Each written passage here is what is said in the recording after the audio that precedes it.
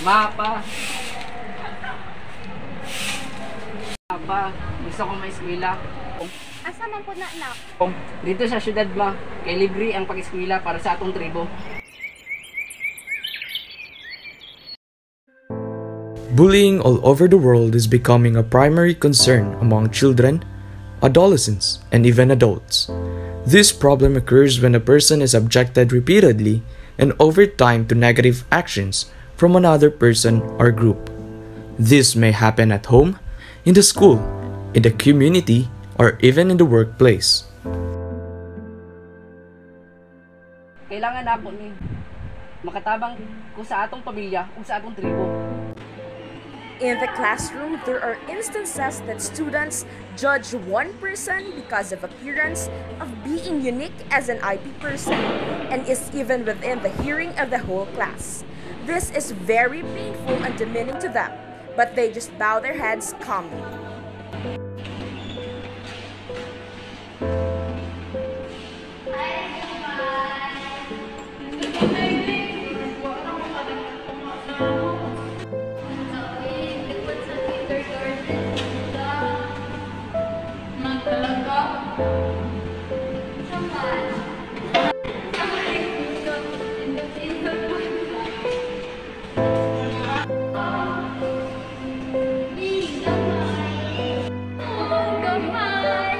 Ang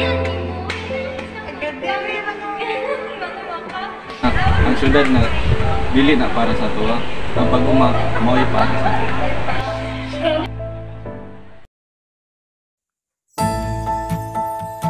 New Beginnings was a corporate initiative that engaged the schools and students to identify priority and build relationships to remove barriers and provide culturally appropriate services for indigenous people.